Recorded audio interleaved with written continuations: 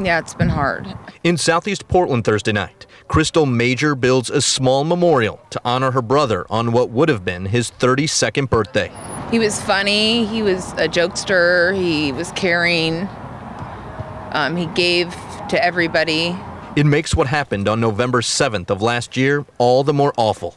Harold Major was shot and killed not far from the corner of Southeast 33rd and Powell, where he was living in a tent. Detectives believe Harold was the victim of a drive by shooting that he was in no way connected to. He wasn't the target.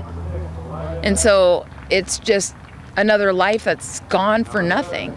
The shooting that took Harold's life was one of 891 shootings in Portland in 2020. And unfortunately, the gunfire hasn't stopped. It's only gotten worse. With more than three months to go in 2021, there have already been more than 870 shootings in Portland, one of the most recent coming Thursday afternoon near Northeast 82nd and Sandy. We're told a child and an adult were injured. They're expected to survive. Nobody's taking the time to understand that we have to come together as a community and stop this now before it gets even worse. That's for another day. This night is about Harold. He's missed more than words can describe. Crystal will tell you not much will bring her peace, though tracking down the shooter would certainly be a start. From the beginning, I told myself that if they ever did find who did it, I would forgive them.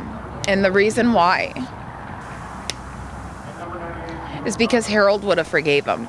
Crime Stoppers is offering a cash reward of up to $2,500 for information that leads to Harold Major's killer. And remember, tipsters can remain anonymous. Reporting in Southeast Portland, I'm Mike Benner for KGW News.